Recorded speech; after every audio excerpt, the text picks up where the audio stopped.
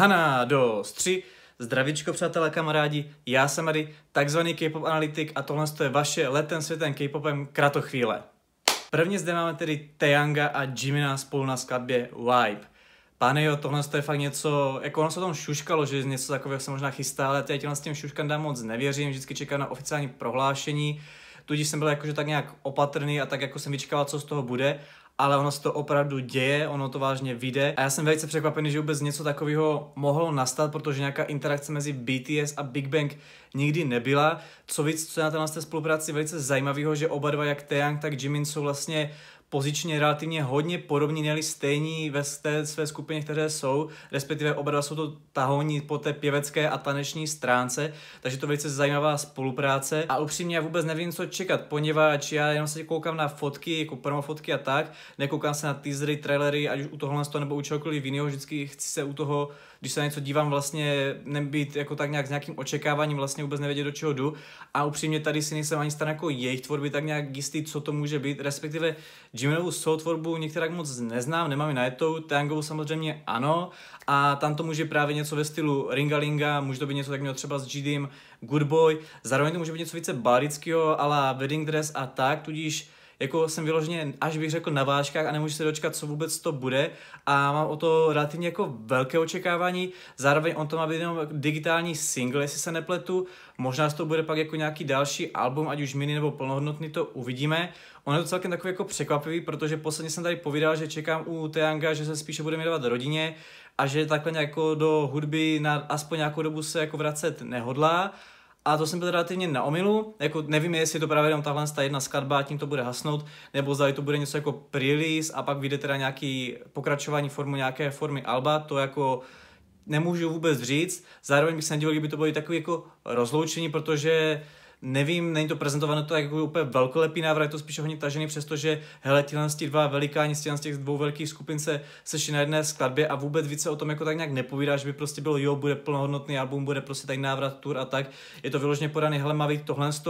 a nic víc se neví, kolem všeho dalšího je ticho. Jako bylo by zavadějící, kdyby nic dalšího nevyšlo, bylo to prostě jenom digitální single a konec šmitec, nebo jak se říká, takže jako asi něco vyjde, ale úplně to neberu, jo, teďka se ten vrací na scénu, bude plnohodnotně fungovat, byť jako už minule jsem se přepočítal, takže se možná přepočítávám znova, tu už neberte má slova tak nějak jako, že to, to, to, takhle je, to spíš taková nějaká má domněnka, nebo jak já na to nahlížím. Každopádně na tom bude velice zajímavé pozorovat to vlastně, jak to celé dopadne, nebo respektive pro fanoušky to bude samozřejmě super, ale takhle pro nějak obecné publiku, nebo jak to brát, poněvadž ano, BTS jsou samozřejmě velice známí i v Koreji, ale hlavně ve světě, za což Big Bang mají v té Koreji, bych řekl, mnohem větší jméno, protože fungovali v éře K-popu, kdy vlastně se Korea aktivně o K-pop scénu zajímala a je vlastně ta skupina mnohem víc emblematičtější, byť to zní trošku, jak to říct, úsměvně, že logicky, když máte BTS jako skupinu, která je známá globálně, tady měla být jako, že o to víc jako i známa právě v té zemi, odkud pochází a neříkám, že tam jako nikoho nezajímají, to by byla naprosto hloupost, ale si to podat tak, že vlastně BTS tak nějak předostli celou tu K-pop scénu a Koreu jako takovou a jsou té globální sféře, což jako Big Bang taky byli jako známí hlavně po Ázii i dejme tomu v rámci té jako kdyby západní scény, ale být rozhodně ne do takové míry jako BTS. Tudíž tohle to propojení bude velice zajímavý a jsem na to velice zvědavý, jak to právě bude vnímáno tím veřejným publikem, kteří o Big Bang, lomeno pak ve světě o BTS ví a díky tomu, tomu vlastně se dozví více právě o Tangovi, respektive o Big Bang a celkově jako co z tohle co půjde dál, jestli to bude jen taková jednorázová věc, nebo jako jestli se chystá něco dalšího. Mně upřímně napadlo, že i vlastně G-Dragon chystá nějaký svůj návrat, takže by i někdo další z BTS měl právě s G-Dragonem takovou nějakou spolupráci, že by to jako, jako na to navázali. To by bylo skutku epický, já si říkám, že by bylo skvělé, kdyby to bylo jako logicky někdo z reperů, já bych preferoval RM nebo Shugu, s tím, že vlastně RM už solo své měl, jako možná to nějak navázat na to, že vydal vlastně to své album podobně jako vlastně J-Hope po svým album měl s Crashem, Spinationu jako spolupráci, to se samozřejmě nevylučuje. Zároveň ale pravda, že vlastně Shugo nějaký solo se teprve ještě chystá, tudíž by to mohli na to navázat vlastně, že by měl takhle s G-Dragonem něco a pak se vlastně na to napojit, což se hypoteticky může týkat i u Jimina vlastně s Teangem. Tudíž je velice zajímavý, že po loňském roce si tyhle ty dvě giga K-pop skupiny jedou tak nějak stránce solo tvorby, každý tak nějak něco svýho a dostává se tady na tady tuhle tu spolupráci a propletí to z těch dvou vesmíru, nebo jak to nazvat. Každopádně někde na mě vidět, tak jsem z toho celý takový rozlátý, plácem tady pátý přes devátý skáču od jednoho ke druhému, nemůžu se vyloženě dočkat. Tudíž mi vědět, jaké máte vy očekávání. Hypoteticky tohle to video asi vyšlo v době, kdy už to je venku, tudíž mi napište, co si o tom myslíte, jak vám to přijde, jestli to dostalo vašim očekáváním, jestli jste spokojení, nebo cokoliv jiného, rád to s vámi pořeším v komentářích. Určitě na něco jsem tady zapomněl, tudíž můžete něco vypíchnout a já se vám k tomu vyjádřím, po případě samotného něco tak nějak docvakne, až tohle to donatáčím, takže to tam můžeme jako tak nějak více rozebrat. To je ale na novince všechno a teď bych se přesunul na to další. A další věcí, kterou zde mám na probrání, je Lukas a jeho nahrazení ve super skupině Super M. Pro ty z vás, co neví, tak Lukas vlastně od léta 2021 je neaktivní, poněvadž bylo odhaleno, že se nechoval úplně hezky ke svým přítelkyním. Ana už tohle to zavadící, že jich měl více a že podváděl, respektive oni to byli jeho faninky, on využíval své pozice toho, že vlastně ten idol a oni k němu zlíží, oni jsou do něj zakoukaný a zbožňují ho a zneužíval toho formou toho, že vlastně psychicky vydíral, citově s nima manipuloval a tyhle ty jako nepěkné věci vlastně z pozice toho idola Tohle se tak nějak potvrdilo tím, že vlastně on se to omluvil a přiznal, že vlastně bude zpytovat svoje svědomí. Pak byly nějaký šuškany, to teďka si nejsem jistý, jestli bylo oficiálně eh, odhaleno, potvrzeno, nebo právě to bylo právě jenom takhle jako podáno, že se o tom mluví, se o tom říká, ale vzhledem k tomu, že vlastně ty slečny, které dali tuhle tu výpověď, co se jim vlastně dělo stran toho vztahu s Lukasem, tak by vlastně i tohle to mohla být pravda, jakože proč by si vymýšleli ještě něco takhle nad rámec, nebo jako proč by to tam do toho nějak spali, kdyby to nutně nebyla pravda, když už tohle to stačilo k tomu, aby mu to pošpinilo jméno, ale jako to teďka jako si nejsem úplně jistý, že to nebude, že tak je. Každopádně jednalo se o to, že je vlastně nutil k nechráněnému sexu, tedy bez ochrany, což se dá brát vlastně jako sexuální napadení, takže jako tomu vůbec nehralo do k tomu, jako aby se z té situace nějak vyhrabal k lepšímu. Každopádně Lukas je od té doby neaktivní vlastně ve všech NCT unitech, své solo tvorby jako tam nic velkého neměl, myslím, že na SN Station jsem tam objevil nebo něco takového, možná v nějakém soundtracku a tak, takže tam jako logicky není moc co probírat. A vlastně chystala se i s ním a s Henderym podskupina pro Wavy, kde měla být uh, skladba Jalapeno, která nevyšla, vyšel jenom teaser a od té o to ticho. A vzhledem k tomu, že vlastně ty dvě bonus skladby od těch dvou jiných duetů Wavy vlastně tedy Xiao Juna a Kuna a Yang Yanga a Tena vyšli vlastně na posledním mini albu od Wavy, tak hádám, že se na tím kompletně zanevřelo a vůbec se k tomu nehodlají vracet. A teď plno věcí nasvědčuje tomu, že bude odebrán právě i z té SM super skupiny Super M, poněvadž vyšlo lákadlo, tedy teaser, kdy byly ukázány takhle jako barevné světle reprezentující členy Super M v barvách právě skupin, od kterých jsou. Bylo tam vlastně Teminovo takové to Tyrkisově lehce ale právě ten pl- plamen nebo to světlo, který reprezentuje Shiny, pak tam byly dvě stříbrné, tedy za EXO, to máme tři, a pak tam místo čtyř byly jenom tři neonově zelené světla za NCT a právě místo toho čtvrtého, tedy nejspíš toho Lukasového, tam právě bylo takové rudé, což rudá barva reprezentuje z těch aktivních SM chlapeckých skupin skupinu TVXQ a tam máme tedy možnosti jenom dvě, protože už je to jenom duo, tedy Changmina nebo Yuna. A je pravda, že více lidí se naklání k tomu, že by to měl být Changmin,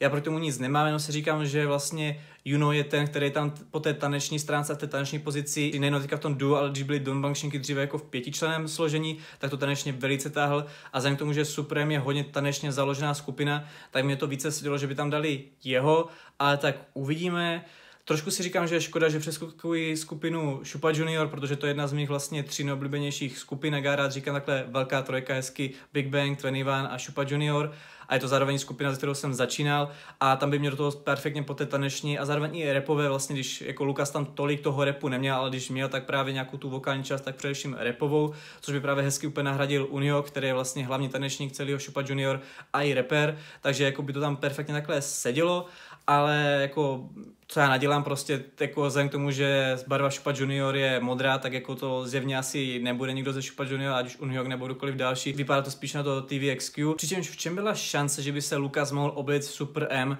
když se vlastně vůbec neobjevuje v něčem od NCT. No, jednoduše, vlastně to, co on provedl, tak je jako fakt hodně nepěkná věc a i tak nějak chápu, že v podstatě nehledě na to, jak je SM takový hodně v rukavičkách a musí být všechno tak nějak až na Disneyho způsob takový jako perfektní a ideální a hezky vyumělkovaný, tak jako tohle to chápu, že i v jiné agentuře by úplně neprošlo, tudíž je tak nějak pochopitelný, že jeho agentura tak nějak, teda jeho agentura, jeho kariéra tak nějak skončila, v rámci takhle NCT nebo něčeho takového vlastně pod SM, celkově bych řekl i v K-popu, zdali v budoucnu neobnoví smlouvu, protože do té doby asi aktivní země nebude a pojede si něco svého, tak to bude čistě na něm, těžko říct, na jakou scénu se zaměří a kolik ještě budeme v té době jako těch skalních fanoušků, kteří ho stále přes tohle to všechno podporují. Každopádně tady u Super M je nutno brát, že to vlastně byla super skupina cílená vlastně na Ameriku, tedy západ a vlastně to bylo i na žádost Capital Records, aby něco takového vzniklo. Tak vlastně tam byla šance, že by to americké lemeno západní publikum nebylo tolik vlastně obeznámeno s tím, co se tak nějak jako stalo s Lukasem za poslední dobu na K-pop scéně. Logicky ano, i na západě v Americe jsou K-pop fanoušci,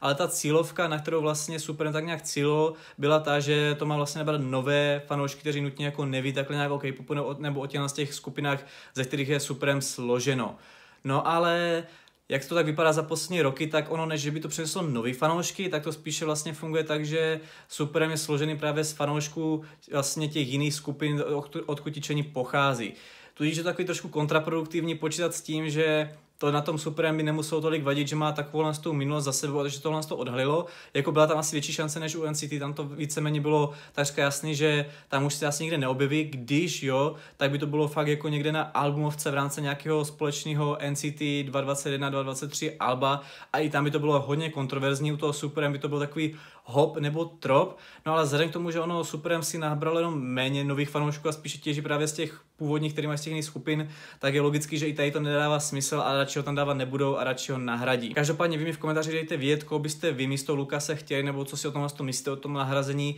jeho takhle do Super nebo celkově o jeho situaci, jestli byste chtěli právě Stevie XQ, Changmina nebo Yuna, po případě jestli byste chtěli úplně někoho jiného takhle s SM, ať by to byl třeba i Kangta nebo samotný i Suma, to by bylo velice zajímavý. Já si velice rád pročtu vaše názory a teď pojďme na poslední novinku. A to je další super skupina, tentokrát dívčí, ale stále od SM, tedy Girls on Tap a jejich první a vlastně doposud jediný unit Got the Beat se bude vracet a ne tentokrát vlastně jenom s jednou skladbou s digitálním single albem, ale bude to kompletně rovnou i mini album. Což je hezký, že ten návrat nastal, poněvadž tak nějak trošku působil před tím rokem a něco, že to vlastně debitovali a tím to skončilo, že to byl takový ten projekt, že si SM to udělalo a pak to odkoplo, nechali to být, tudíž je hezký, že tady nějaký návrat máme. Ovšem, právě jak tady říkám, první unit, respektive jediný, tak ono Girls on Tap bylo prezentovaný tak, že budou jako různé unity, nebo respektive, že tohle je první a že pak můžou být další, které budou zaměřeny třeba na něco jiného. Právě the Beat je především zaměřený na tou taneční neboli performance stránku, takže jsem čekal, že v průběhu toho, z toho roku, co jsme měli 2022, se to tak nějak bude vracet, že budou jiné formace na jiné zaměření, po případě, že nám teďka nastal takhle po roce něco návrat, tak jako, že bude nový unit, nebo ta ta formace toho unitu bude pozměněna, takže si trošku říkám, že je škoda, že s tím trošku tak nějak nepohráli, ale budíš. Zároveň ale super, že oproti Super M tady byli schopni vlastně na tu, na tu dívčí super skupinu poskarat členky takhle z každé generace K-popu, co vlastně v agentuře SM mají. Je tam vlastně Boa za první generaci K-popu, následně ze Sony Shide tam mají vlastně dvě členky Hyoyeon a Taeyeon, což je vlastně druhá generace K-popu. Následně z třetí generace tam mají členky právě za Red Velvet a nakonec ze čtvrté tam mají členky z SP, takže to je hezky takhle pěkně, že to mají takhle poskladaný vlastně napříč celou historii K-popu. Zároveň takovou pěknou zajímavostí, že tady ten název projektu Girls on Tap je vlastně podle jména Alba od Boji, který vlastně taky se jmenovalo Girls on Tap a byla to i titulní skladba, nebo já neříkám, že to takhle oficiálně, ale vzhledem k tomu, že ta Boa v tom projektu figuruje, tak to tak trošku jako tomu nahrává, že takový jako pomrknutí pro starší fanoušky a chápete jako co myslím. I jsem si říkal, kdyby v tomhle tom projektu Girls on Tap byly nějaké další právě Unity a formace, jenom Got the Beat, tak zdali by právě skrz ten název Girls on Tap neměla být Boa vlastně v každém tom složení, že by se zbojí stal takový trošku, když Mark pro NCT, když tam už taky nesedí úplně perfektně, ale víte, co myslím, ten, ten, ten vtípek, že vlastně Mark do nekonečna furt debituje vlastně součástí všeho. A teďka odbíhám. Zároveň ale pravdou, že zdali by se chtěli držet tady tohle z toho konceptu, že tam budou mít takhle každýho z nějaké té generace K-popu, tak se nezbývá nic jiného, než tam za tu první generaci vždy mít právě Bow, protože oni nikoho aktivního nebo v té agentuře už funkčního z té první generace, co se týče dívek, nemají. Vlastně hned z první skupiny SIS tam už nikoho nemají. Právě to sami pro Isaac and Gion, tam taky nikdo není. Následně Milk a Shinvi taky vůbec nejsou funkční, takže tam zbývá jenom ta Boa té další generaci, kolem tam všichni měl, vím, že tam byla Zhang Lin a Jimin, psáno Jamin, ty už taky vlastně jakožto solistky nefungují. Pak vlastně tam máme FX a Grace, které jsou taky absolutně nefunkční a nejsou vlastně už součástí SM, takže tam by mohli vybírat vlastně jinam, jiné členky takhle právě ze Sony Shide, ty, které stále pod SM jsou, což je podle mého Yuri, Yuna a Sunny. Zdali by tam někoho z těch, z těch tří takhle jako dohodili, to by mohlo být zajímavý. No a pak mám samozřejmě členky Red Velvet, zbývající tři a zbývající dvě členky SP, takže tam by se to relativně jako mohlo nahrazovat. Právě jenom ta první generace působí tak, že kdyby to chtěli dodržet, tak tam vždycky ta boa bude muset být, protože už tam nikoho jiný za tu první generaci z dívek nemají. Takže by tady samozřejmě jenom fabulují a neříkám, že to takhle vážně je, že boa musí být kompletně součástí všeho a že to je její projekt, když je to pojmenovaný podle její skladby a jeho alba, tedy Girls on Tap. A vlastně by to tak nějak sedělo, protože za ty generace tam mají ve skupinách právě členky, které by tam mohly tak nějak nahradit, nebo prohodit, což za tu první generaci tam právě odpovídá fakt jenom ta boa. Ale to tady čistě jenom fabulují samozřejmě. Napište mi právě, jakou byste vy chtěli formaci, jak se vám tohle složení líbí, zda chcete právě, aby to tohle tom pokračovalo, nebo byste ocenili, kdyby God the Beat měl právě jinou formaci, že by to stále bylo zaměřené na tu performance a na ten tanec, nebo byste chtěli další unit tady tohle Girls on Tap projektu, kde by se zaměřili třeba více na pěveckou stránku nebo něco takového. Já sám upřímně ani pořádně nevím, poněvadž já jsem si tu skladbu jenom pustil nebo i to vystoupení a tím to tak nějak pro mě haslo, některá dvakrát jsem se k tomu nevracel, ale přijde mi zajímavý, že v rámci SN tady máme i dívčí super skupinu, takže můžete dejte vidět, co vy na ní říkáte, jaké máte očekávání, po případě, jak říkám, co byste za formaci či složení chtěli vy. To je ode mě ale už vše, zatím se mějte a smějte a čau.